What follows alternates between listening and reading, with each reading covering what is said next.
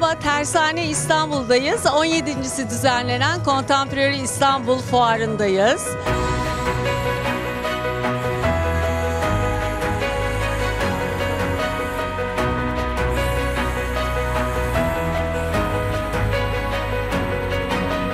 Ee, Ege bölgesinde karavanla. En sonunda şu anda İzmir'de bir köyde yaşıyorum. Terk edilmiş bir köyde. Ee, ruhun ruha değmesi, var olma çabası, e, ben varım demek sanat. Ee, sanat benim için aslında bir varoluş süreci. Yani Ne kadar güzel değil mi? Bu sene ne kadar kalabalık fuar. Niye böyle? Hepsi burada müthiş bir yol arkadaşı. Ee, inanılmaz bir potansiyelleri, inanılmaz bir öngörüleri var.